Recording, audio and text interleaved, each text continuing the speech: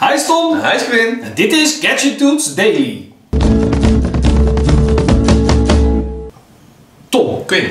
muzikanten, Ja. singer-songwriters, Ja. die staan meestal alleen op het podium met een gitaar. Hè? Akoestisch gitaartje en dan houdt het wel meestal op. Ja.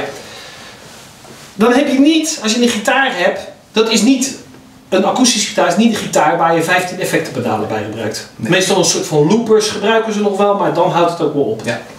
Dat houdt dus in dat je ook wel zeer beperkt bent in wat je kan bieden aan de mensen die eh, naar je komen kijken. Wat ze nu hebben gemaakt, dat is de Eggpad. En de Eggpad is een soort van plaat die zet je over je slagplaat van je eh, akoestische gitaar.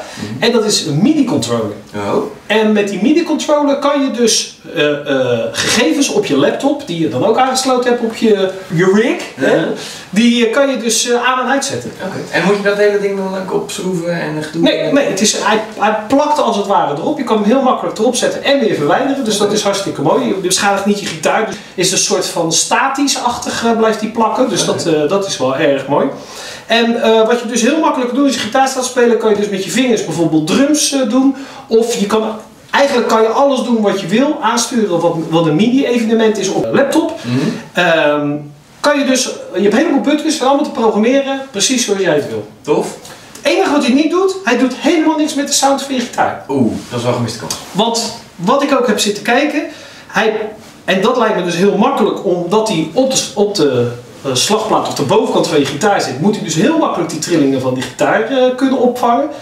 Maar zover ik het kon zien in het filmpje, wordt daar niets mee gedaan. Dus je kan niet het geluid van die gitaar eh, sturen. Ja. De- het hele idee is helemaal draadloos. Ehm, je hebt een plug, die doe je in je USB-poort en daar communiceert hij mee met je computer.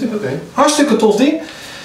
Ik denk dat voor serieuze muzika- muzikanten ziet het er nog een beetje erg eh, Nintendo uit. Ja. Het is nog niet helemaal eh, dat je denkt van eh, ziet er heel lekker uit. Maar een normale MIDI gitaar is heel erg duur. Maar dit is misschien een leuk alternatief. Kost maar 285 dollar.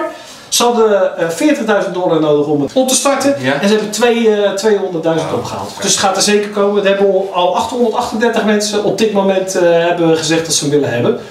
Dus ik ben erg benieuwd wanneer we het voor het eerst op het podium zien hier in de buurt. weer van deze Catchy Dudes Daily. Maar we laten die natuurlijk niet zonder gedachten zeggen. Hij is Tom. Hij is Quinn. En wij zijn de Catchy Dudes. Tot, morgen. Als je iets met gadgets doet, kijk dan naar de Catchy Dudes. De Gadget